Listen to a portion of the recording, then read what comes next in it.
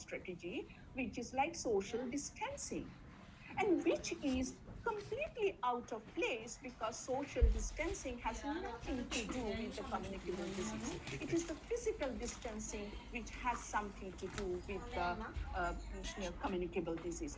Why I am saying that we really need to say that social distancing is an out of proportion and which should not be replicated any further or should not be talked about any further because this will kill the social trust which is the social capital on which sustainability will depend. So, if we erode social trust, if we create stigma within the economy, within the society, then we will miss out sustainable development goal. Why? I'll just come back very soon. And then the other one is that the other response strategy is to invest more and more on uh, high tech ventilators and water, uh, I mean, testing, etc. This reminds me, you know, I'm not saying this is wrong, but my question is that this reminds me of the arsenic prevention uh, measures between 1990 and 2003 in India, and where all testing labs were created, and many arsenic removal technologies were implemented on the ground. But after six months, they all failed and all testing labs still work but still number of arsenic uh, uh, uh, arsenic patients are increasing every day. So basically we are not just providing the basic minimum requirement of drinking water which is which is an safe similarly here we are not providing hygiene through providing good quality water and energy. So, how do we expect that implementing by buying, purchasing ventilators and test kits, we will solve the problem? So, all past histories do not show that this has solved the problem. The number of cancer patients is also increasing every day. So my question is that we should be, as scientists, should be questioning and learning from history. We should say what we really need to do. I'll come to the third uh, response strategy, which is about lockdown, right? So what's it, what it has to do with the sustainable development goals? In 14th century, China and Italy used to apply this quarantine on a area-specific uh, measure. In 21st century, we are replicating a 14th century uh, uh, cultural practices in China and Italy worldwide, where when we are so much uh, through media, social media, internet, to make people aware and to make people aware how to manage a communicable disease. We are doing it on day-to-day basis for many more communicable diseases. So I think this has become an out of proportion. Why this has become out of proportion? Because if you look into the kind of loss to economic um, assets loss to economic income flow, and loss to human uh, labor time, productive time. This worries me that what are we really doing in terms of SDGs and are we going to achieve SDGs? I'll just show you a couple of slides to wrap up what I want to say and what is my line of argument here. So if we look at um, if we look at the slide which I'm going to show now, that will show that um, that will show that basically if we think then we will see that the conceptual framing of sustainable development goal is the basic triple bottom line, which says the economy need to thrive, environment need to thrive, society need to thrive if you think right now, and we will see that economy is not thriving, society is not thriving because because of severe mental pressure on every individual. This is going to make the fallout of the mental well-being, which is one of the SDGs, which I already told you. So basically, society and economy is not thriving. Environment, yes, people are showing fantastic photographs that clean air, clean water, etc. are happening, but at the cost of economy and society. It did not mention in SDG that we do not need economy and society. We do need economy and society along with environment. So there needs to be a combination of all three. But right now, the response strategy, which is politically uh, implemented in all the countries, I would say politically, because multidisciplinary scientific advice was not used at all and so from that point of view, we can just see that economy, society, and environment, these thriving three sectors, which was thought of under SDGs, is going to fall through. So I do not see these as one way how we can really achieve SDG goals. If two are killed and only environment is thriving, then for whom the environment will be. So uh, uh, uh, I would say another thing that uh, uh, so this is the framing of sustainability where it says that okay so economy society and environment should be thriving in this area of sustainability. So on a narrow zone where the sustainability will be achieved. But for me this is a very narrow concept. And i would provide you a different framing and which I will use to show that why the current uh, uh, uh, response strategies, how I see them.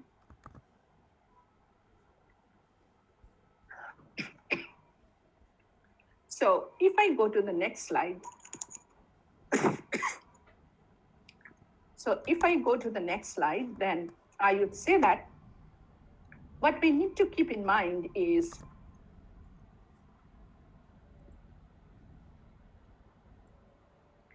what we need to keep in mind is that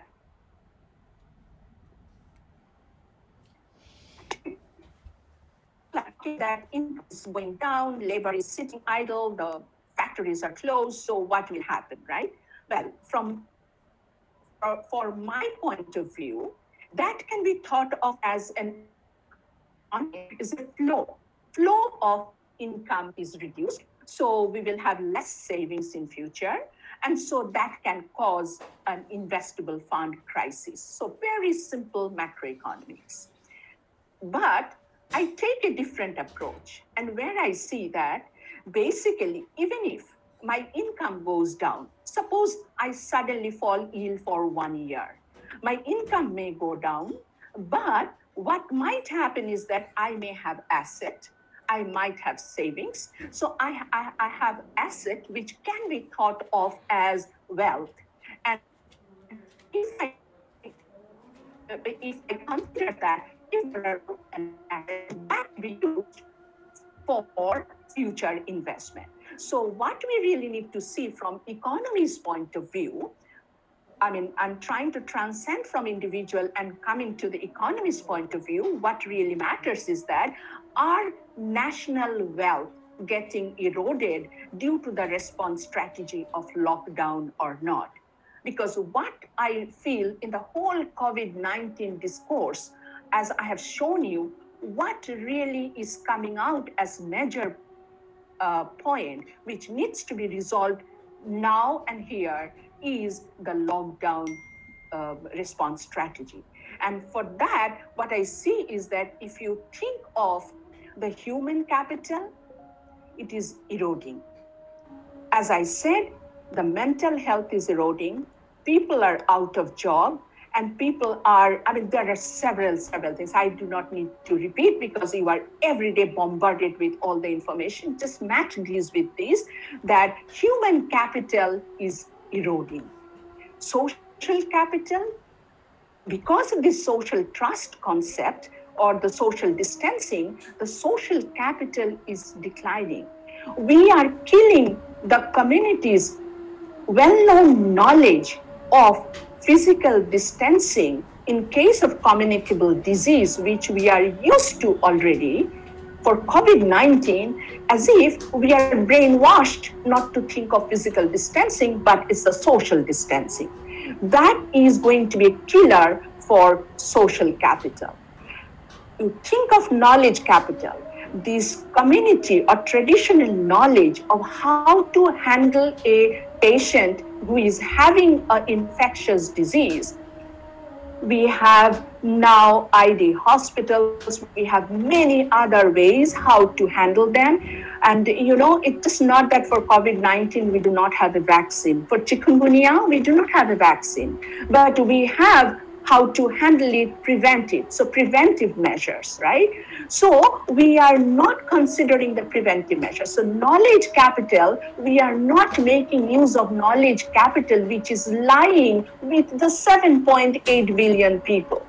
We are just making it a top down, maybe 200 people's decisions that what should be the knowledge the, the community needs to learn. And ignoring the empowerment which already people have is through social capital and knowledge capital and human capital, these are really getting eroded, which worries me. And also, what I just see is that physical capital. If you just think of physical capital, I would say that many, many capital, say aircraft, say industries, which are not running now, the machines. When they open up, it will take a long time to bring them up into functionality. So social capital is also eroding. And if you think of natural capital, our water resource is already uh, for 50% of the global population, it is not worthy for meeting any hygiene standard. So if capital erodes, it worries me how sustainable development in the long run will be managed. So I see that lockdown is eroding and which might have to be, unless we withdraw it very fast, then the sustainable development, both in the short run and in the long run, is going to be affected. So with these words, I'll stop here and I'll take any question when it comes up. Thank you very much.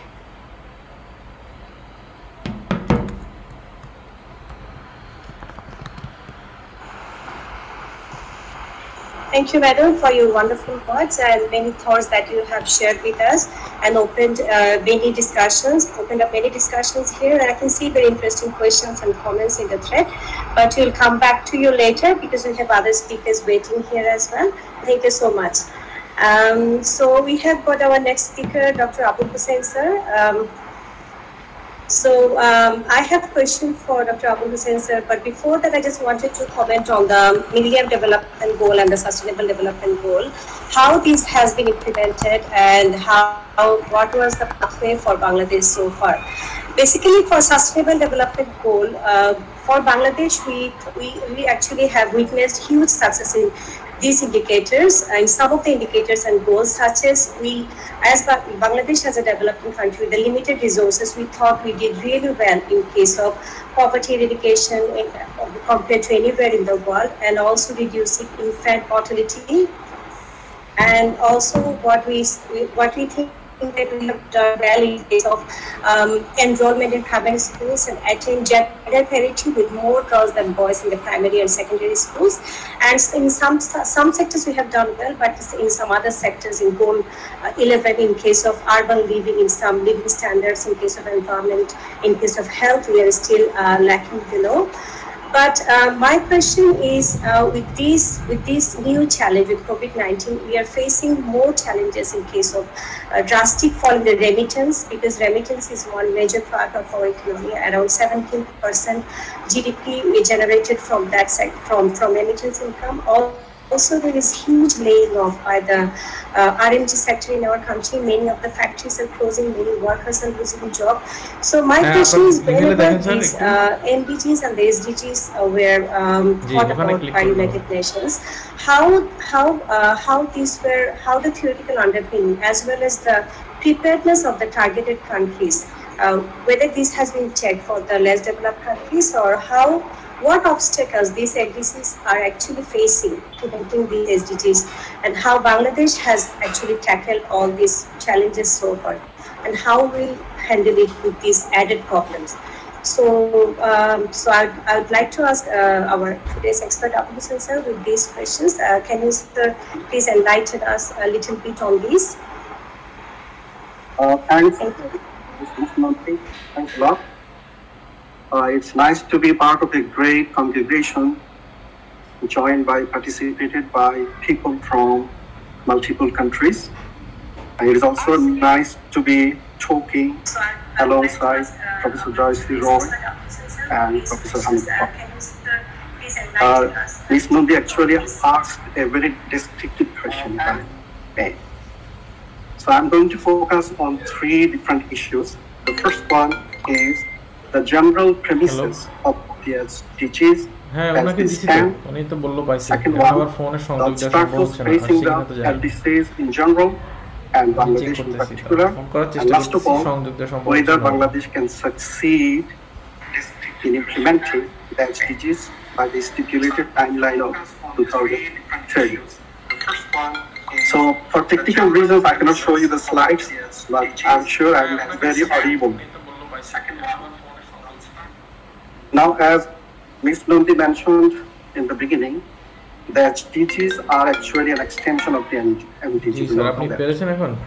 And this is in fact a continuation yeah. of the United Nations, World Bank, IMF policies for the emancipation of the developing as well as the least developed countries. And also the SDGs are time-bound policies which contain careful insights countries social and economic problems, O as well as the Laptop solutions থেকে to the possible না problem আপনার and কাছে? also the possible sources of finance.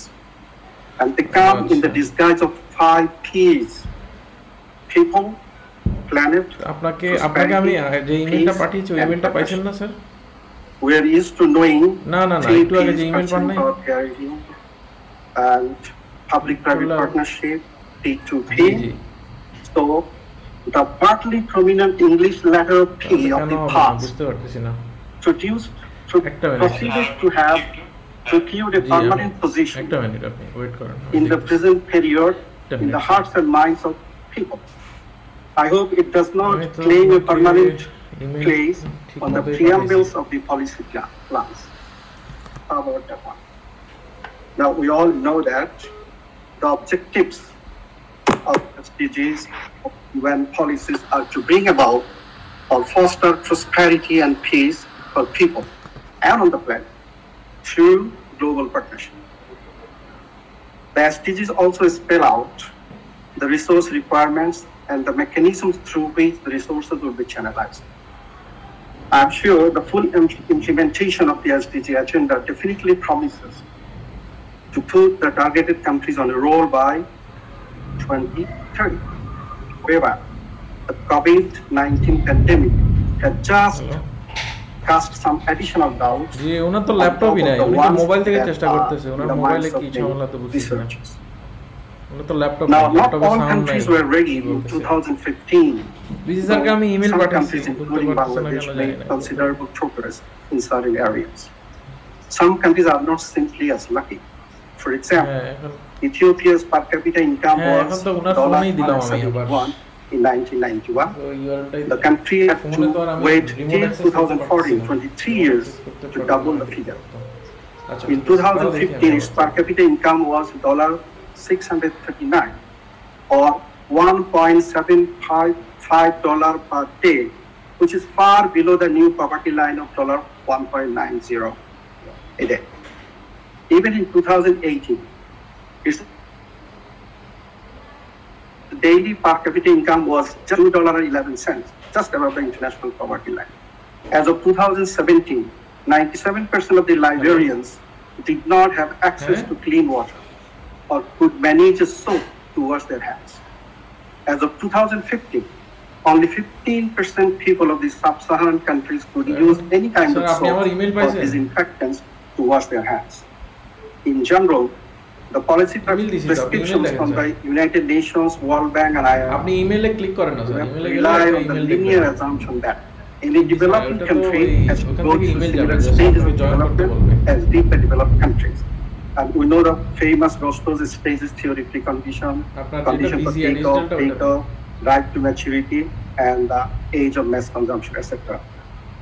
This clearly ignores the initial conditions concerning the resource endowments Hello. and also the uniqueness of the culture, traditions, and laws of a particular country. For example, sir. This is- Bangladesh is not as resourceful even in 2020 as Britain or US was 50 years ago. Somalia does not have the same quality human resources as India does. If wealth is an indicator of a country's resilience to dealing with catastrophic uncertainties, then again the countries differ in a big way. For example, compare Australia's mean wealth of $386,000 per adult with India's 14,500, Bangladesh's 6,643, and Central African Republic's 749.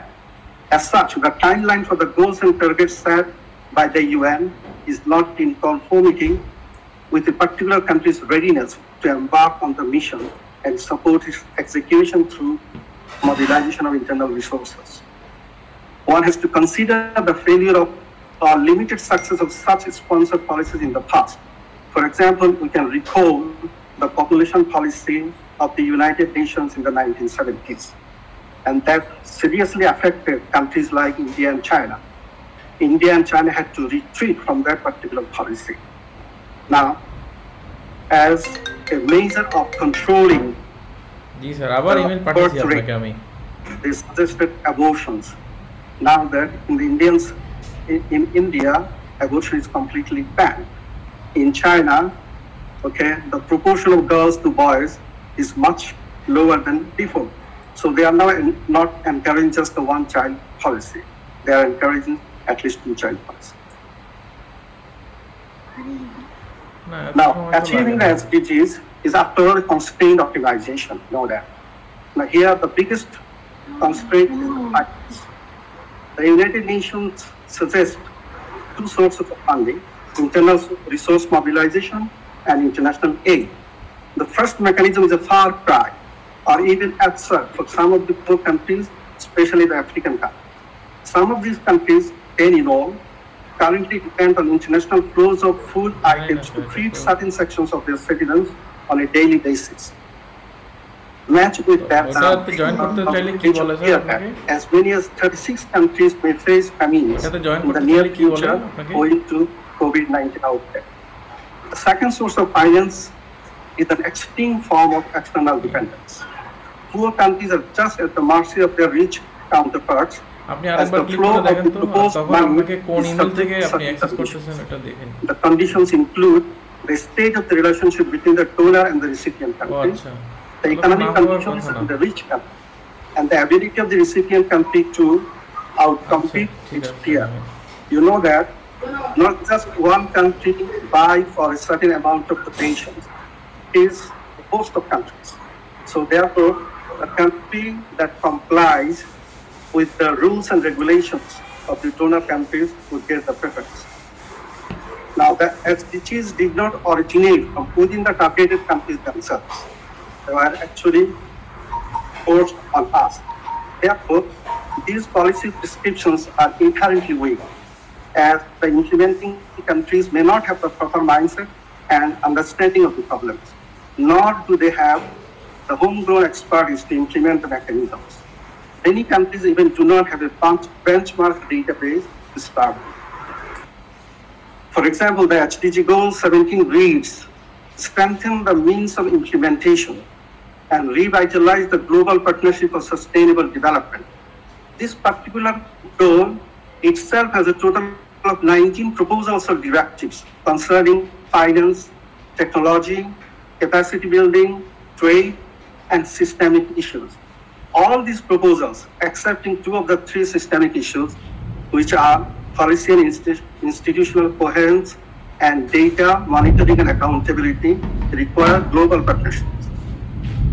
Besides funding, the global partnership connotes technical assistance. This constitutes another form of external dependence, which can also be presumed to absorb part of the international funding. Thirdly, the degree of openness of globalization presents yet another form of external dependence. The economic performance of a particular country becomes tied with the performance of the trade partners. Finally, the richer countries seldom apply the principles of liberal trade, as we all know that. More often than not, they actually take resort to protectionism and find ways not to honor the bilateral trade agreements. Now, can Bangladesh succeed?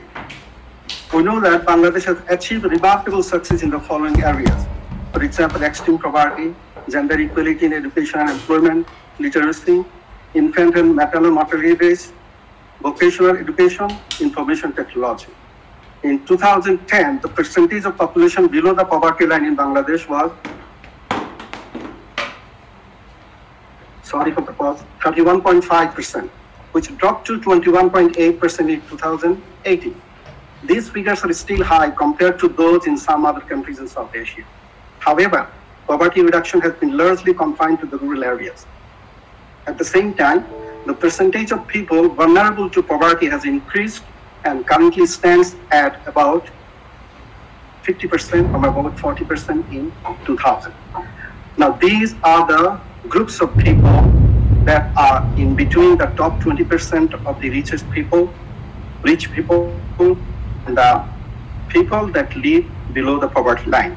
So vulnerability here means they are just at the borderline. They may actually find themselves below the poverty line anytime. Now, in the gender parity index has been on the rise and in excess of unity is greater than one in primary and secondary education, which means Okay, more girls than boys are enrolled in the primary and secondary education. The progress has also continued at a, at a slower rate, though, in case of tertiary and vocational education till 2040. Thereafter, the gender parity index has tended downward for tertiary and technical education. More than 90% of the population have access to electricity. About 99% of the population access to mobile phones. Similar progresses can be reported for other parameters for Bangladesh too. But the COVID-19 has exposed our preparedness of lack of it to deal with uncertainties. The fear is that a possibility could prove even more devastating. In the worst possible case, the virus would take permanence like its predecessors, predecessor variants. In either case, Bangladesh has to embark on short, medium, and long-term planning to combat probable catastrophes like the present one. The future annual budgets and the longer term plans must set aside an allocation of funding to this end from internal sources. As economic activities are coming to a standstill, government revenue is destined to suffer.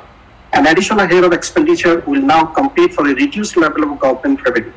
Therefore, Bangladesh is likely to compromise with its course of implementation of some of the SDGs besides other development plans. Can Bangladesh rely on external funding in these trying times? Bangladesh may, like many other countries, get a moratorium on the principal and the interest accrued, or at best a debt relief. But that would be of little help unless new money comes in. The rich countries and the international institutions will channelize funding for researching epidemiology Bangladesh thus has to succeed in attracting external finance, financial assistance to achieve SDGs if approved by 2030. Now, hello, join করে নিয়েছি আমি join করে uh, supplement uh, Professor Joyashree Roy. Professor, Professor Joyashree Roy was talking about the shortage of investable fund, fund, which is very likely. Now, as solution, or Professor Roy was expecting that the wealth of the people, the asset, the savings, they will utilize their savings to actually invest in the future. Now, I just gave the figures of some of the countries' assets. So the figures are assets per adult people. Now, keeping that, countries like Bangladesh, Central African Republic, and India, they have very much little to dispose of actually. Now, in case of consumption, we know in situations like this, or in situations where, where countries are in massive war, people are actually forced to save some of their money. The people that can save actually. So not the people that are poor. Now once the epidemic would be over, these people will actually use up their savings. They are creating demand for certain types of commodities that are non-essential and as well as essential beyond food items. So therefore, maybe we'll still have a revival of the economy at one point. But one important issue is that the COVID-19 is unlike the other viruses. The other viruses did not harm the economic activities. COVID-19 did. So already, you know, so many people are losing jobs, and it is apprehended that as many as 850 million people will be starving. So social capital, yes. Now, probably we'll have to come up with different forms of other social capital. For example, the platform you're using at the moment is part of the social capital. So therefore, people will find ways and means to communicate uh, among themselves. With these few words, I conclude my speech. Thank you. Thank you very much.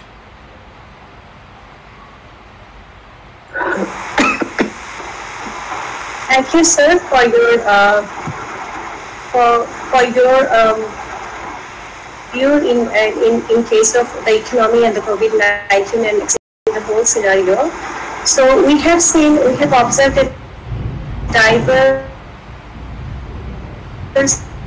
um, diverse effects that made. But um, I would apologize. Our speaker, Dr. Hamidul Huq, could not join us due to a technical reason, but we still uh, continue with this webinar because we have many interesting questions that I can see in the chat room. So since we said that this is going to be interactive mode, so we'll go through the questions and start answering them.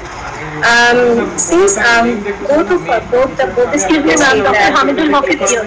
WhatsApp is for Jonas. Okay, that's great. What's okay. Alright, so uh, so my next question will go to Dr. Hamidul Huq. This will connects uh, for, for quite a while, but it did not. So it's good that sir has joined us. Um, so sir, uh, since we have been talking about COVID-19 and its impact on economy or sustainable development goals, would you please talk, uh, would you please give us an insight that how our economy should reframe or restructure or whether there we need any different policies or whether there is a the uh, chances that we can look at it in a different way? Because many countries are actually uh, allowing funds but in our country we are also trying but it's not enough or it's not going to the uh, disadvantaged people. You can see that in the newspapers so what should be the what should be the pathway to handle this problem? Whether it's a short-term goal or whether uh, we can look at in a in a long-term as the framework and how can we reshape our how can we handle this uh, immediately. So uh, uh, I'll go to Hamidul Huq sir, sir after you sir.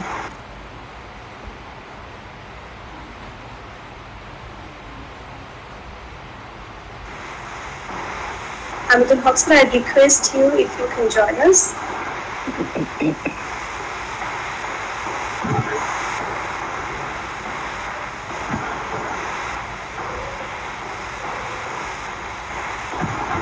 Sir, hope you can hear me.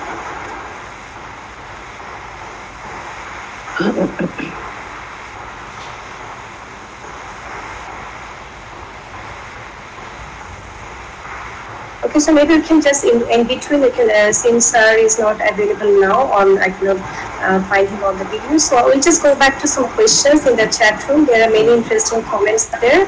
So I may invite Dr. Joyashree Roy because uh, there are some questions are directed towards Madam, uh, requesting that whether Joyashree Roy can answer a few of the questions.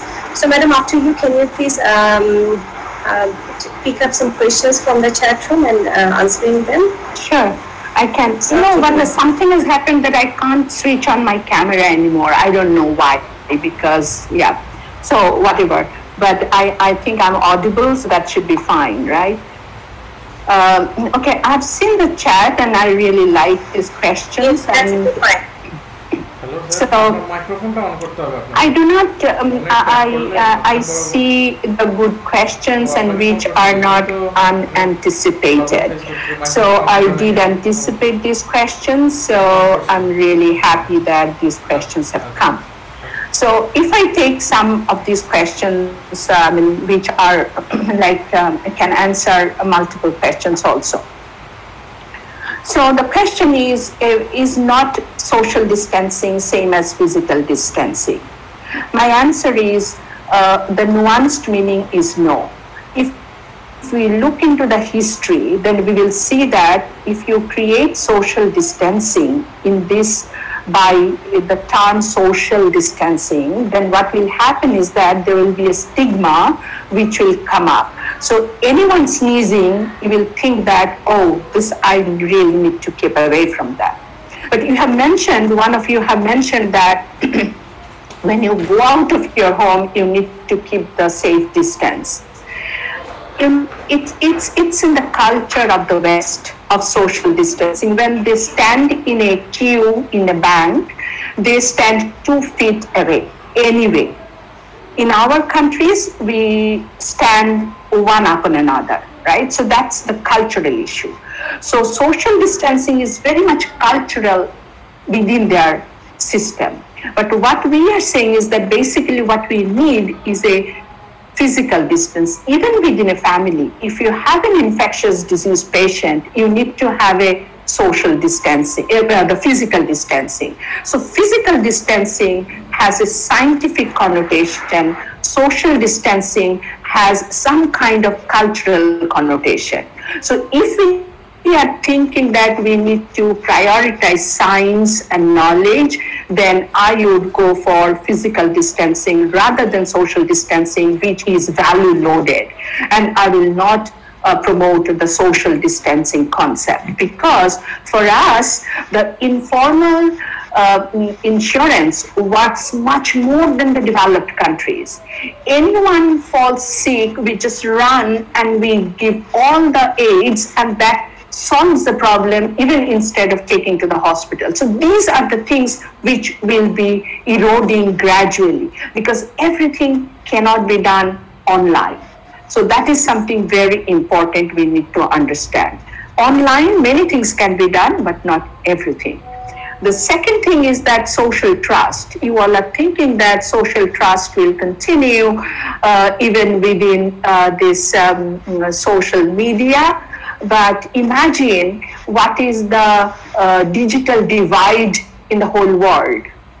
And with the digital divide, are we talking only of you and me, who are the privileged section in this society? Or are we talking of really the 500, 50% of the 7.8 billion who has not tasted the uh, developmental benefits so far? So I think we are talking of ourselves but not talking of 7.8 billion and empowering them. Even if you implement social distancing, can you imagine when your home is seven feet by seven feet without any decoration, how 10 people live in that? So these are the questions. You all have been seeing these in the newspaper every day. So that's a big issue. But um, uh, whether lockdown is the only um, uh, solution, if lockdown is not uh, implemented, what could be- better could we have done? You see, I think all the infectious diseases, every season we get dengue and malaria. How do we handle that?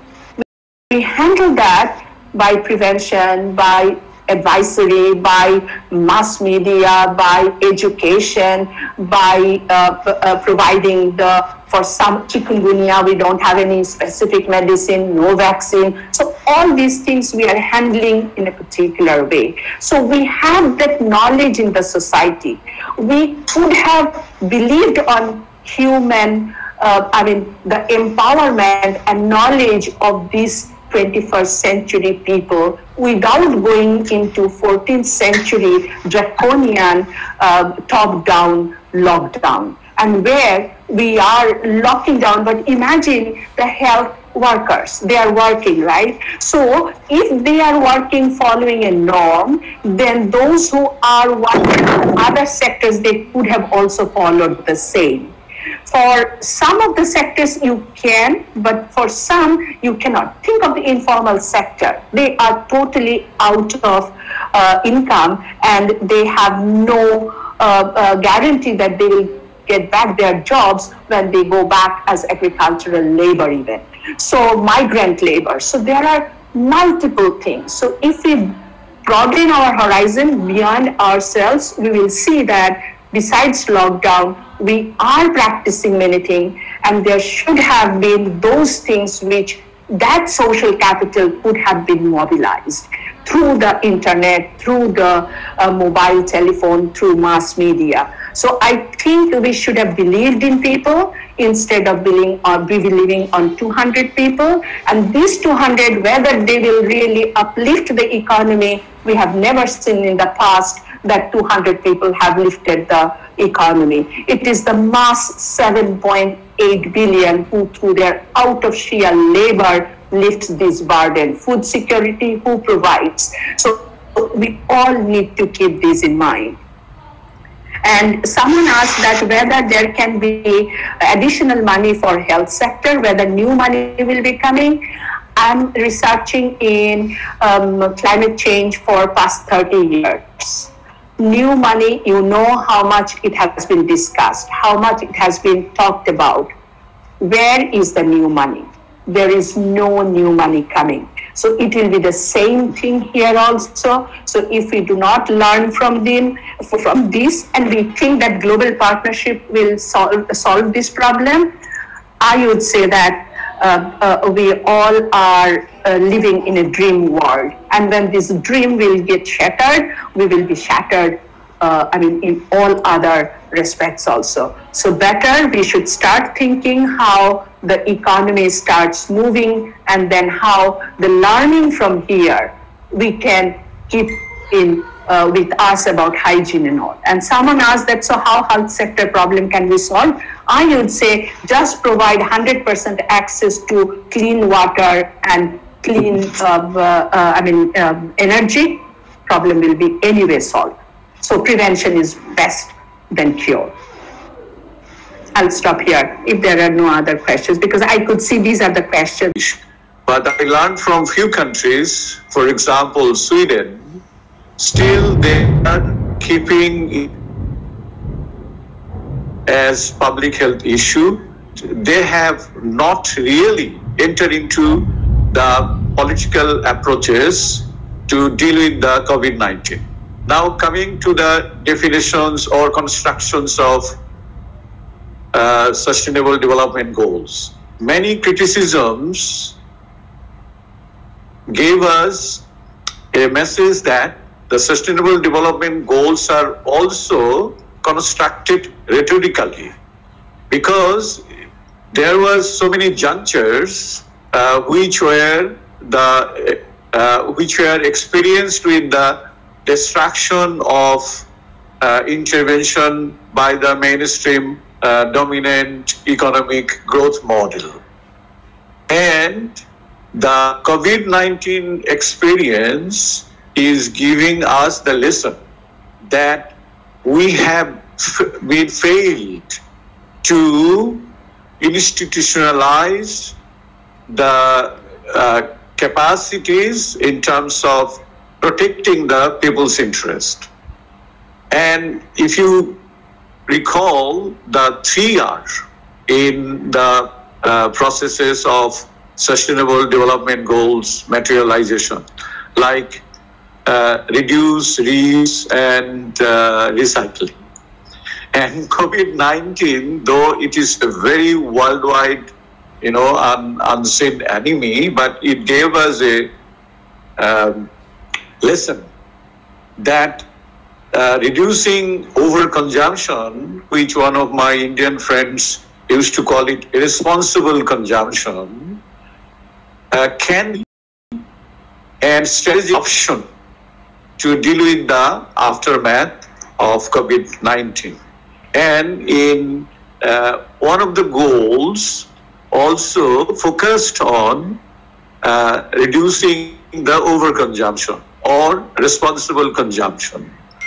Point two is the uh, pillars of sustainable development mentioned the number one is environmental development. And this crisis is also giving us a lesson that we consumed less in terms of fossil fuel, uh, all kinds of energy, uh, chemical input. So, so that is also a lesson. And third is, third is the if the world, world number of world, uh, you know, whole population is 3 billion out of 7 billion uh, world population. We, we, we made them so much so by introducing political decision of uh, lockdown. And lockdown came with strategy of inefficiency, lacking of institutional capacity of administration. And that's why, in order to, uh, you know, protect people from uh, these um, vulnerabilities, since the health services, public health services, that's why this political now, in, in the context of Bangladesh, people are asking whether life or life or life use is for uh, you know living. So if we can protect livelihood, definitely people will be able to protect their lives. But lockdown approach cannot be the answer to protect uh, people who live with the World Bank definition under uh, you know poverty or below poverty line. In Bangladesh, we, we, we need to take into account that about 45% of our population are youth. And this youth population is a big capital in terms of human capital. And our informal economy, uh, if I'm wrong, Professor uh, uh, Anwar may, uh, sorry, Professor uh, Hossain may, uh, you know, correct me. At least 37% of our economy is backed by the informal economy. And this lockdown has totally, you know, uh, uh, uh, brought the threatened to the informal economy, which is causing the extreme sufferings of the poor people, especially the youth who were engaged in informal economic sector. Now, what should we do? What should be the uh, strategic options? Our government uh, is giving priority on agriculture, food production, apprehending food crisis after the coronavirus.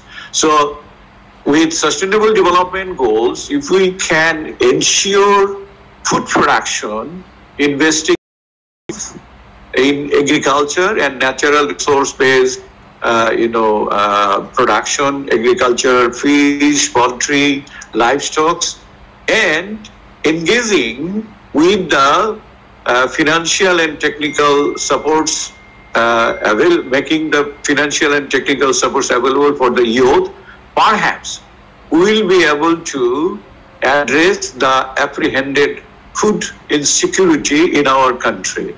And that will also bring the benefits in terms of overall livelihoods of the poor people. Of course, the rich and richest will be loser that's why they are demanding more and more this, uh, you know, additional financing for their sector. But I personally is uh, not really convinced with this, uh, you know, uh, demand. But uh, we can go about with the investment first in agriculture, then small and medium scale, uh, you know, industries, and of course, education which will also uh, make our people uh, more aware, capable, and taking care of uh, public health uh, issues. And finally, the social distancing and physical distancing. I don't find, okay, uh, conceptually we can argue whether it is social or physical, but my uh, uh, uh, concern is the lockdown approach. Lockdown approach came up as alternative of, you know, failure in ensuring the public health services to the people from a poor country to um, a rich country. Uh, our government, perhaps uh, Professor Abul Hossain already mentioned, uh, allocated uh, special, uh, made commitment for special allocations, giving priority in small and medium scale factories, as, and then second priority is agriculture and their health. Some people ask about healthcare. Of course, it will need long, long time to uh, strengthen our healthcare services. But to me, the short term, meaning emergency work, uh, immediate uh, uh, short, medium term, and then medium term program is more essential in order to comply with the sustainable development uh, goals in Bangladesh. Thank you so much. Ananda.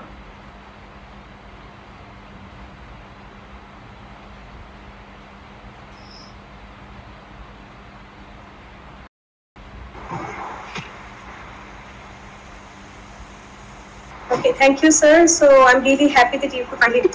Actually, there are some technical uh, problems that some of our uh, faculty members also could not join. Our honorable VC sir wanted to join us today, but uh, there are technical issues. As we said that we are actually uh, emerging to another platform. We are trying to learn how to manage with these technologies because this is totally new to us. So we, I think we talked a lot about the uh, development goals and also how these uh, social distancing or physical distancing are hampering the economic and our policies and our future uh, plans as well.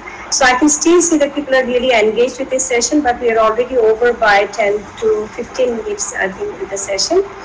So um, I think it was a really nice um, uh, conversation and, and, and, a nice bunch of our speakers have uh, shared with us. We are enriched with so many information and also has shown that whether um, there should be a long-term goal or the short-term goals should be focused more on and what are the what are the, what are the targets, whatever targets that Bangladesh is trying to achieve or the less developing countries, countries that are trying to achieve, but we have to immediate, we have to actually act on the immediate problem now. And um, because COVID-19 is a challenge we can face, as our speakers also say that there are viral challenges. These challenges totally new to us, so we cannot uh, we cannot follow the same path that we have followed in the past. This challenge and the other challenges or the other uh, crises are same to what we have seen now. So I'd like to uh, conclude today's session, but uh, probably have another question or no, 19 or some other. We, we sincerely yes, appreciate your initiative very much and let us continue it. And uh, perhaps we'll be prepared with this technical, uh, you know, difficult. It's not really very technical. It's a um, uh, uh, lack of and knowledge. yes. I sincerely appreciate yes. your initiative. Let us continue it. Thank you so much. Yeah, thank you very much, Ananya, and to all those participants for raising very good question. And I really learned so much from uh, two professors also. Thank you. Okay, so thank you everyone for joining us today in this webinar and hopefully we will meet in another webinar because Eastern University is initiating this so that we are engaged and we can share our views. So I'd like to um, I'd like to conclude today's session and I'd like to thank all the facilities that uh, East Delta University has provided and I would like to thank Networking Placement Cell, CPTC, IT Support, EDU Authority, about uh, thinking about opening up this platform to discuss and uh, share all these issues with everyone. And hopefully we'll meet um, another time. And I'd like to also conclude that all the participants who have joined us today will be issued with the e-certificate because we want to recognize that how important our participants uh, are to us. So we have, hope to meet you again in another webinar and it will hopefully continue this webinar series and we'll connect in future as well. So we will look for a better future and hopefully we will all overcome this challenge together. So thanks everyone. Thank you. Thank you. Thank you. Thank you, ma'am. Thank you all. Thank you, ma'am. Thanks a lot, ma'am. Thank you, ma'am. Thank you, ma'am. Thank you, Thank you, ma'am. Thank you, ma'am. Thanks a lot, ma'am. Thank you, ma'am. Thank you, ma'am. Thanks everyone. Thank you, ma'am. Thank you, ma'am. Thanks a lot, ma'am. Thank you, ma'am.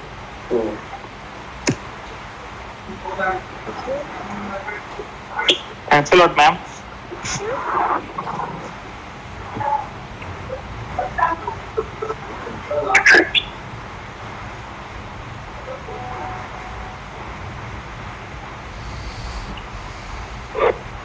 Thanks a lot.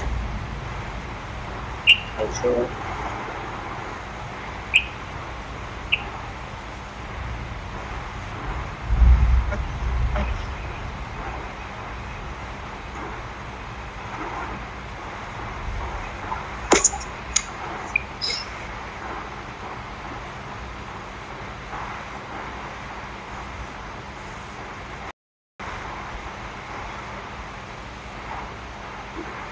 Okay, ma'am, I wanted to tell you something that uh, some of my faculties could not join, but I see some one faculty I could manage to join here, Israt, Shad, uh, Israt Sadia.